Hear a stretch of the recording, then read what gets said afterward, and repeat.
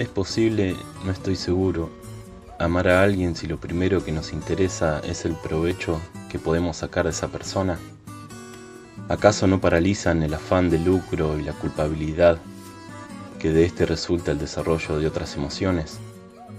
Se podría argumentar que incluso las personas más decentemente emparejadas se vieron atraídas inicialmente por el principio de la mutua explotación, sexo, protección, apaciguamiento narcisista. Sin embargo, todo eso es trivial, humano. La diferencia entre esto último y la verdadera utilización de otra persona es la misma que hay entre setas comestibles y las que matan, monstruos perfectos. Truman Capote, plegarias atendidas.